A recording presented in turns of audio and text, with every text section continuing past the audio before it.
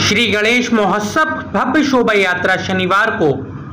बरेली श्री गणेश उत्सव समिति के तत्वाधान में चार दिवसीय श्री गणेश महोत्सव शुक्रवार को शुरू होगा। महोत्सव का मुख्य आकर्षण 7 सितंबर को श्री गणेश जी महाराज की शोभा यात्रा रहेगी। यह जानकारी श्री गणेश उत्सव समिति के अध्यक्ष राजू खंडेलवाल ने प्रेस वार्ता में दी। उन्होंने बताया कि शोभा यात्रा का शुभारंभ प्रदेश के वन राज्य मंत्री डॉक्टर अरुण कुमार महापौर, उमेश गौतम, विधायक संजीव अग्रवाल, राघवेंद्र शर्मा, सदस्य विधान परिषद बोरन लाल मौर्य द्वारा होगा। श्री खंडेलवाल ने बताया कि 6 सितंबर, शुक्रवार को आनंद आश्रम में गणेश पूजन व भजन संध्या साय पाँच बजे से शुरू होगी। सात सितंबर को दोपहर दो बजे शोभा यात्रा सिविल लाइन हनुमान मंदिर से प्रारंभ होकर नवलटी चौराहा, कुतुबखाना, शिवाजी मार्ग, मटकी चौकी, साहू गोपीनाथ, श्यामगंज, गंगापुर, मोरकोठी, नाग पंचमी ग्राउंड पारवाड़ीगंज राधा कृष्ण मंदिर होते हुए तिरुवटीनाथ मंदिर पर विश्राम करेगी। रविवार 8 सितंबर को 1008 शिवलिंग का जलाभिषेक किया जाएगा। 9 सितंबर सोमवार को श्री गणेश जी महाराज का विसर्जन किया जाएगा। गणेश उत्सव क्या विशेष है? इसमें बहुत सारी स्वचालित हमने कुछ झांकियाँ रखी हैं, बहुत सुंदर, कुछ नए लुक में कुछ बहुत अच्छी तरीके से और सारे गवर्नमेंट के नियम कानून के अंतर्गत।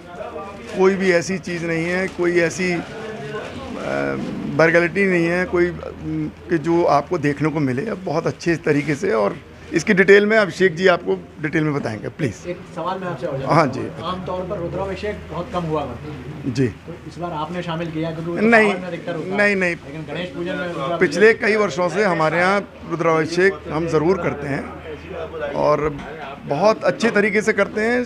शायद आपको देख के लगेगा कि बहुत सारे विद्वानों के साथ में रुद्र रुद्राभिषेक होता है। बहुत सुंदर तरीके से होता है। ये ठीक है कि पहले अलग अलग स्थानों से हम करते रहे हैं स्थानों पे। अब हमने दो तीन वर्ष से आनंद आश्रम में करना शुरू किया है। बहुत अच्छे तरीके से। जी। कार्यक्रम है आप देखिए विशेषता तो गणेश जी में ही है। तीन देवों और समस्त देवी देवताओं से पूर्व पूजन का अधिकार प्राप्त कर लेना अपने आप में एक बहुत बड़ी विशेषता है। सारे विघ्नों को हर लेते हैं। हर प्रकार से अपनी कृपा देते हैं। आज उनका चालीसवां महोत्सव मनाने के लिए हम सब श्री राजू खंडलवाल जी की अध्यक्षता में गणेश उत्सव समिति के तत्वाधान में यहाँ एकत्र हुए हैं। हम कल गणेश जी का विधिवत पूजन करेंगे। हमारी समिति में श्री केशव अवतार शर्मा जी द्वारा प्रस्तावित मूर्ति, जो कि सैकड़ों वर्ष पुरानी अष्टधातु की मूर्ति है, जो उन्होंने प्राप्त करके समिति के लिए उपलब्ध करा रखी है। उसकी विधिवत पूजा करी जाती है, अर्चन किया जाता है, भजन किया जाता है। फिर वो गणेश जी महाराजा धीराज अपनी बरेली की प्रजा से मिलने के लिए शोभा यात्रा में नगर भ्रमण के लिए चलते हैं। पुनः आराम आराम करते हैं आनंद आश्रम में आके। वहाँ पर चारों शंकराचार्य जी द्वारा प्रतिपादित और हमारे बरेली शहर के बहुत बड़े धर्मज्ञ अन्नी महाराज जी, उनके द्वारा प्रतिपादित रुद्राभिषेक की रीति से फिर रुद्राभिषेक कराया जाएगा। एक हज़ार आठ शिवलिंग स्वयं शंकराचार्य जी ने यहाँ पर आनंद आश्रम में स्थापित कराए उन शिवलिंग पे, वहाँ एक हज़ार आठ शिवलिंग हैं। अगर आपने कभी ध्यान दिया हो तो उस शिवलिंग में एक हज़ार आठ शिवलिंग के विग्रह स्थापित हैं। वहाँ पर हम लोग रुद्राभिषेक का पूजन करेंगे। अगले दिन प्रातः यज्ञ पूर्णाहुति कर भगवान का विसर्जन करेंगे।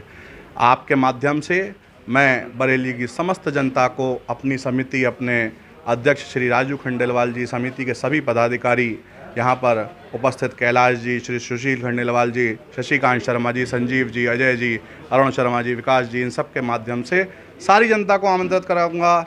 आपके परिवार को आप अपनी पूरी टीम के साथ, परिवार के साथ आएँ। गणेश जी महाराज की कृपा प्राप्त करें। बोलिए गणेश जी महाराज की जय। गणपति बप्पा। गणपति बप्पा। गणेश जी गणेश जी महाराज, सदा ही कृपा करेंगे। आप नाम लीजिए। जिस प्रकार अग्नि का स्वभाव होता है कि वह आपको जला ही देती है। इस प्रकार भगवान के नाम का प्रभाव होता है कि आपके कष्टों को वो समाप्त कर देते हैं। तो आप लोग आएँ और धर्म लाभ अर्जित करें, आनंद करें। बोलिए सनातन धर्म की जय। गणपति बप्पा